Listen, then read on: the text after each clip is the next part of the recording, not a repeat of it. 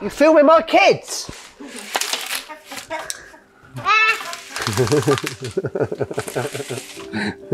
Also, that will go in.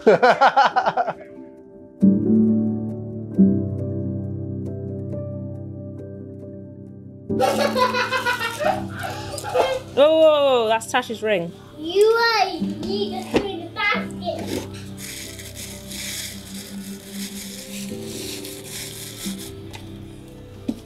So in December, I took a I took a month off. Yeah, I was going for like a really uh, horrible time, and then I started reading again and started doing wild swimming. So then that all like really inspired me to start a new collection. The Antara hoops, these ones, they were a new thing because people had always asked me for hoops before, but I never made them. And then they went absolutely crazy when I released them. So I, I feel like quite proud of those ones. So then moving on to the Hero hoops. I love the botanical imprinted stuff anyway. So yeah, I think the the Rise collection's definitely my favourite. And then working in Eco Silver just feels really nice because that wasn't really a wasn't really a thing when I was at uni, or it wasn't. Um, What's eco Silver? it's 100% recycled silver, so it's like um, all scraps, and I think they use like medical tools as well that have silver, so they melt it all down and then like form sheet out of it. So yeah, it's 100% recycled, so it's just a eco-friendly alternative to sterling silver. It really fits with my brand, and it's just a really nice, nice selling point, really. I mean, usually if they're entertained doing something, I could slip off and do some work. So does Daddy want to go sit with her while she does it? Mommy, mommy, mommy. We go with Daddy and do some do some of your Yeah. colouring, so Mummy can go do some work. No, Daddy put Peppa Pig on for you. I don't I need to put pepper. I'll put Peppa Pig on for you. I need. No, Mummy can't cuddle you. Mum's going to do some work. I really respect people that are full time mums, like all by themselves, and don't do anything outside of that because it's it's so hard. Because I find my joy in escape. So even though it is hard work having to juggle the two, um, I think it'd be so much harder if I was if I was just being a mum constantly. So I I don't know how people do it. Yeah. Mum, Mum's going to go have some time for herself. Yeah? Mommy, mommy. Just run. I'm glad you've only got a little camera because it's a really tiny little space. We used to go to loads of festivals. I used to make jewelry out of like found wood and uh, like feathers and use wire wrapping just to make big unique because I didn't like having the same as everybody else. So I just used to make these massive things to wear. I didn't even think of it as like a career. I just thought I'm just making something for me to wear. It was yeah, a complete disconnect from what it actually was. Yeah. Yeah. Yeah, we actually we've been sorting out the loft and I found some of my old jewellery up there today. And I was just putting it on. I was like, how would anyone have ever worn this? It was just like so over the top, but no, I loved making that. I did the bones when I was at um, college doing my degree. Yeah. And then obviously as soon as we left, well, since I graduated, I fell pregnant with Rui.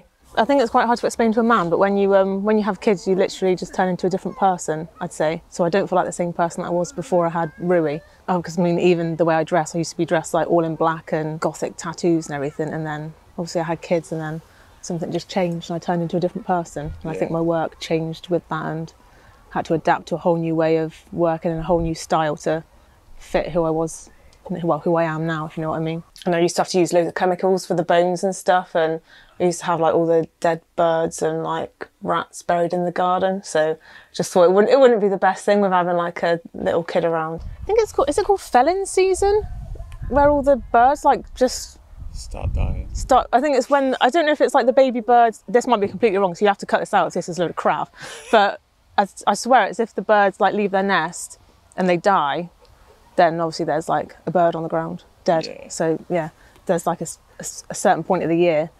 Um, yeah, so we used to find birds and then take them home and bury them, and then obviously all the worms and maggots would do their job, and then it just leave me with the bones. Yeah. So I just have to clean those up. Yeah. My last collection was sort of bringing death to life because I used to electroform the bones and make them look like really vibrant and like striking with all the feathers coming out of them and like make them into like butterfly shapes and stuff so that they looked like they were spreading wings. I had to sort of try and find a new direction to go in. Yeah. Yeah, I think it took me a while to land on something that I was happy with. Because obviously I've been making like massive art jewellery before that was really unique and then, I don't know, it was quite weird having to strip back and just do like normal jewellery, if you know what I mean. Ooh, mummy would have looked like a Disney witch, wouldn't she? Can I try it on? It's so weird thinking about like how different my like goals were because back then I really wanted to. Oh, it's stuck on my head.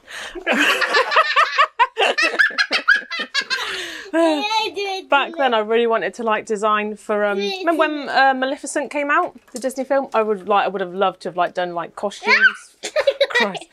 costume costumes for that. I didn't really know what to expect because we never planned to have kids. Like that, it was just never in our life plan. I actively didn't want kids, um, and then we got caught with Rui, and decided to to keep her. Thankfully, yeah, I had no idea what to expect at all. But I found it easier than I thought it would because I'm not maternal like whatsoever. Um, so I expected it to be a lot harder than it was with Rui.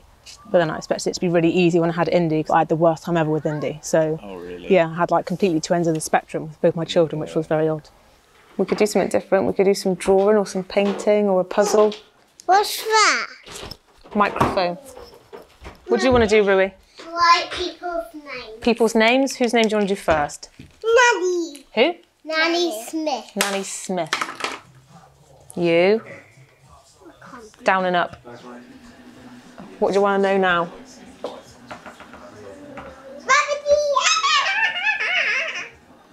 Rabbit. Rabbit.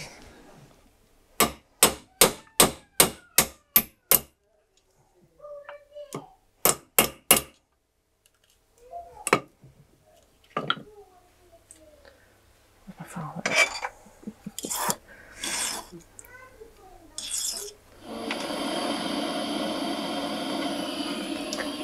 What's the matter? What's the matter? I'm hungry. You're hungry.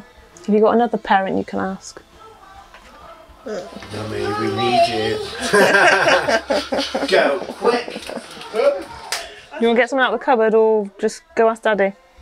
I want to get something out of the cupboard. Go have a look then. My and Chris. Go on then. It's usually like Rue did then. They come in and always ask me for food.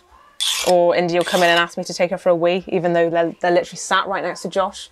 Like their default is just like, if they want something, ask mum. Go ask Daddy to make your lunch. Bear! But you're a parent too. I'm working.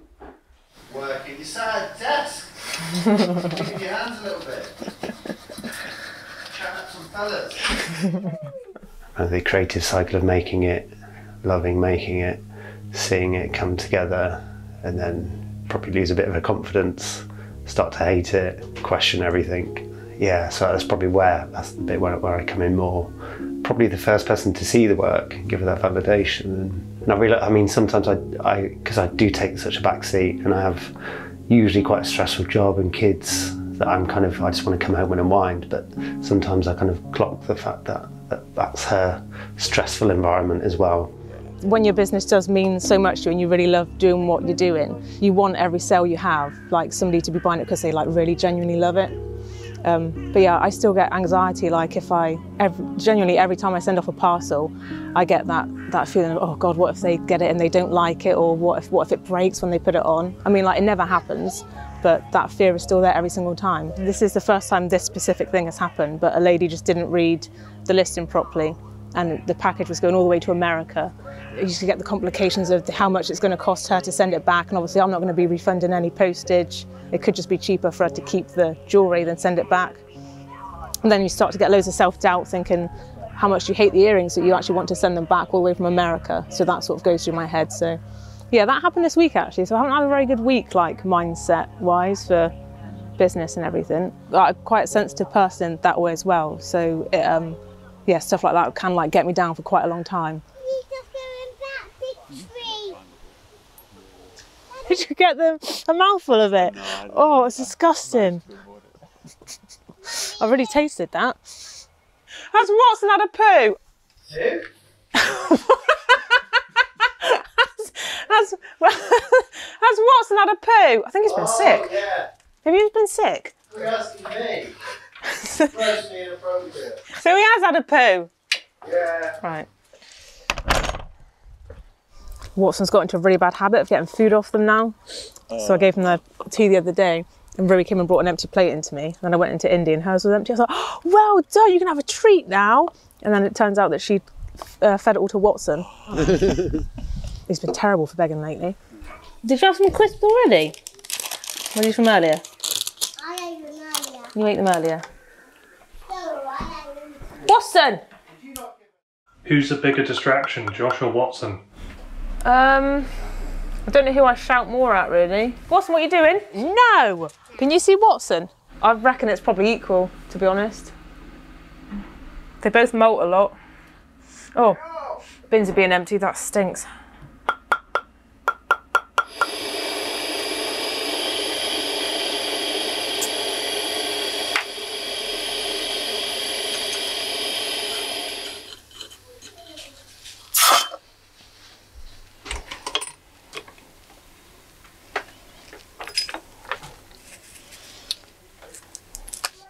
See it?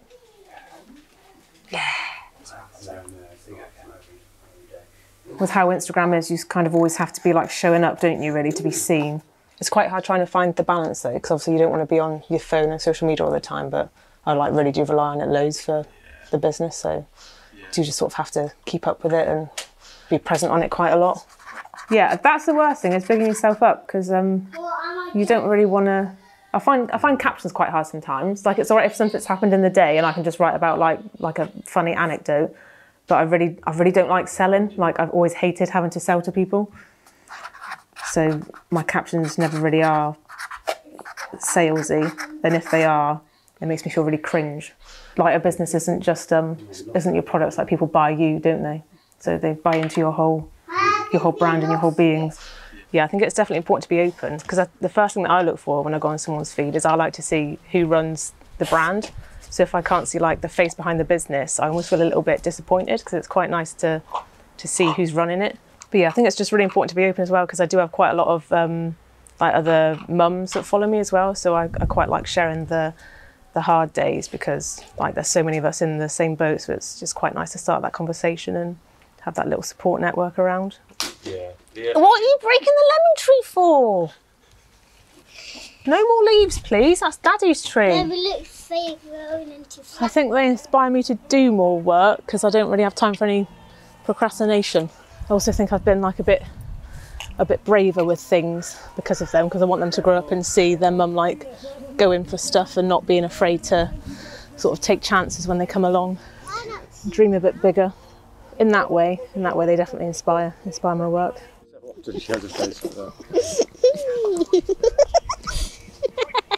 she, hasn't, she isn't so bad now nowadays, but we used to just say like, I think self-expression is I think it's huge in terms of what we want to invest in our girls really and that comes from the doing it's not just saying right girls you know to kind of succeed in life you need to be able to kind of do this I think it's you know they learn through role modeling don't they so the fact that their their mum has got their own kind of work studio right next to where they go and get their smoothies in the morning or it's their every kind of look um, around the house is something to do with like self-expression and creative, whether it's something Stevie's made or a bit of art we've bought or some the music that's on.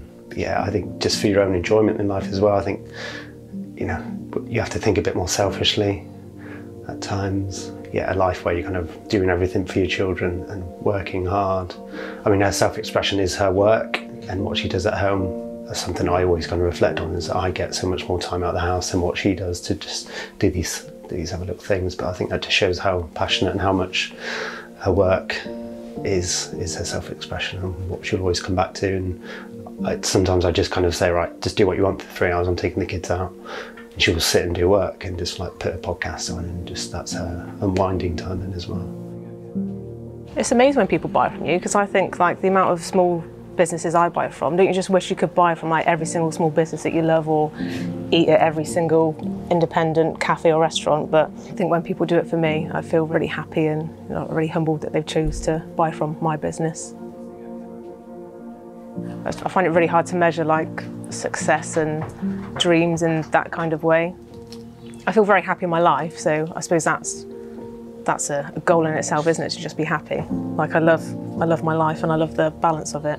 My goals for the next couple of years are to just um, be able to get out to a lot more stockists and like branch out to more craft fairs, and hopefully be published in a magazine or something. I'd love to just have like one room that's mine, so not have to like flick between the two and be between the washing machine and the fridge. So that's a dream as well to just have like my one room that's mine. I'm very happy, but there are there's small things that I want to work towards, and then I think I'll feel like I've achieved a little bit more, if you know what I mean.